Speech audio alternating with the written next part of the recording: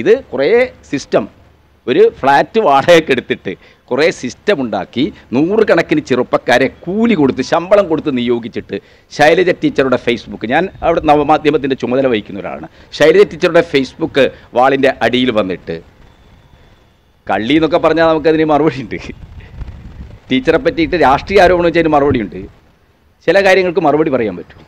ആരൊക്കെയാണ് യൂത്ത് കോൺഗ്രസ് മറുപടി പറയേണ്ടത് രാഹുൽ മാങ്കൂട്ടത്തിലാണ്. രാഹുൽ ഉടൻ തന്നെ എത്തുമെന്ന് നമുക്ക് പ്രതീക്ഷിക്കാം. കെ ടി ഈ സമയത്ത് എനിക്ക് സൂചിപ്പിക്കാനുള്ളത് ഇത് ഈ ഉള്ളവൻ അടക്കമുള്ള ആളുകളുടെ കുടുംബത്തിലുള്ള ആളുകളുടെ ഒക്കെ ഫേസ്ബുക്കിലെ പോസ്റ്റിന് താഴെ സമാനമായ ഭാഷ ഉപയോഗിച്ചിട്ടുള്ളതൊക്കെ താങ്കളുടെ ഒക്കെ അടക്കമുള്ള പാർട്ടിയിൽപ്പെട്ട ആളുകളായിരുന്നു. അപ്പോഴൊന്നും അത് താങ്കളുടെ താങ്കളുടെ പാർട്ടിയിലെ എം എൽ എമാർ അടക്കമുള്ള ആളുകൾ അതിന് നേതൃത്വം വഹിച്ചിട്ടുണ്ട്. ഒരിക്കലും പാടില്ല. പക്ഷേ ഞാൻ ഗണേഷിലേക്ക് ഞാൻ ഒരു കാര്യം പറയാം പക്ഷേ ഒരു തെരഞ്ഞെടുപ്പ് ഘട്ടത്തിൽ തെരഞ്ഞെടുപ്പ് മാതൃകാ പെരുമാറ്റച്ചട്ടം നിലനിൽക്കുമ്പോൾ ഒരു സംഘത്തെ നിയോഗിച്ചിരിക്കുകയാണ്. അവർ കോഴിക്കോട്ടുകാരും വടകരക്കാരും അല്ല ആ സംഘത്ത് ഉപയോഗിച്ച് സിസ്റ്റം ഉപയോഗിച്ച് അങ്ങനെയുണ്ടോ? ഈ കോഴിക്കോട്ടും തുടർച്ചയായിട്ട് വടകരയിലുമുള്ള ആളുകൾ തന്നെ ഇവിടെ വന്ന് തെരഞ്ഞെടുപ്പ് പ്രചാരണത്തിന് നേതൃത്വം വഹിക്കണമെന്നുണ്ടോ? അങ്ങനെയാണോ സി പി എം അങ്ങനെയല്ല. ഇവിടെയുള്ള ആളുകളല്ല. ഒരു പ്രൊഫഷണൽ ഗ്രൂപ്പാണ്. ഇവിടെ എന്ന് കൊണ്ട് ഉദ്ദേശിക്കുന്നത് എല്ലാ സ്ഥലത്തും എന്താണ് അതാത് നിയോജക മണ്ഡലങ്ങളിലുള്ള ആളുകളാണ് ആ തെരഞ്ഞെടുപ്പ് പ്രവർത്തനം നടത്തുക. എന്താണ് നിയോഗിക്കപ്പെടുന്ന പാർട്ടി ആൾക്കാരുണ്ടാവും. ഇതല്ല.